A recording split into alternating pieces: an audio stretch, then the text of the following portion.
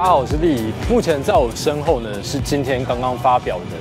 保时捷的718 Cayman GT4 以及718 Spider。其实这两台车的定位来说呢，你很明显的去感受到 Cayman 的 GT4，它整个是采取一个比较竞技化的设计手法。至于在718 Spider 的部分呢，它则是走一个比较均衡的设计。所以两台车的感觉呢，我想也是针对不同诉求的人来做设计的。但是呢，其实他们核心的心脏以及他们的底盘系统都是使用的一模一样的规格，他们都搭载了水平对卧自然进气引擎，另外也同时都搭载了手排的变速箱，它并没有 PDK 变速箱的选项，所以呢，其实它在性能的表现部分呢，最大马力同样都可以输出四百二十匹，而峰值扭力呢也是落在四百二十牛顿米，另外在零到一百的表现方面呢，也是一模一样，都能够在四点四秒以内完成零到一百的加速。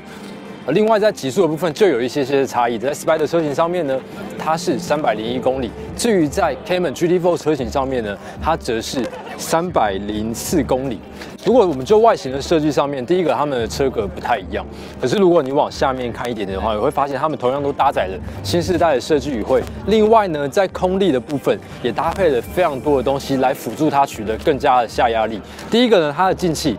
面积大，而且总共有四个部分。另外在下老流的部分，其实我蛮讶异的是在于它的下老流的护板，它设计的非常的简单，可是跟过往旧世代的车型相比呢，它的整个下压力的表现，另外在风阻系数的表现上面呢，都好上不少。这个部分当然也包含在车尾的部分，在 Spider 车型部分，它搭载一个可自动开启的老刘的尾翼；而在 GT4 车型上面呢，它则是搭载一个固定式的尾翼。另外呢，在下方呢有另外一组的小尾翼，去辅助它车尾下压力的表现。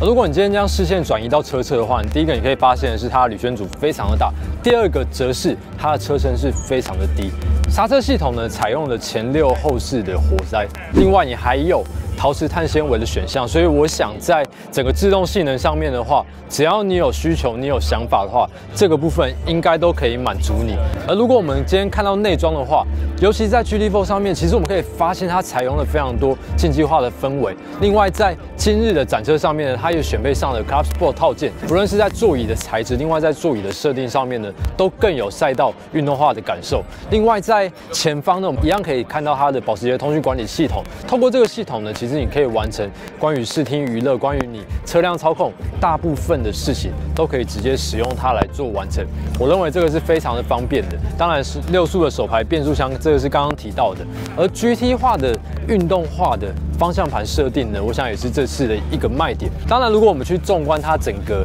呃车子关于性能的理念的话，其实你可以发现它使用上非常多电子控制的东西。而保时捷在这一块已经发展很久，而且是发展的很不错。所以呢，包含像是电子车身稳定系统啊，他们等等的一些所有东西在整合起来，其实当你开这台车上赛道，或者说当你在开这台车的时候，它其实很多东西都是事先帮你把讯号整合起来，让车辆做出最适宜的反应。我认为呢，这个是保时捷在这一个新时代车型上面做的非常好的部分。而另外呢，我想这也是让整个呃驾驶的门槛降低的一个方式，让更多人可以体验到关于保时捷的操控魅力。最后，关于建议售价呢，其实在718 Spider 车型上面是四百六十九万，而在718 Cayman GT4 车型上面只是四百九十一万。那当然，未来如果有机会的话，我们会持续为大家带来更多的报道。拜拜。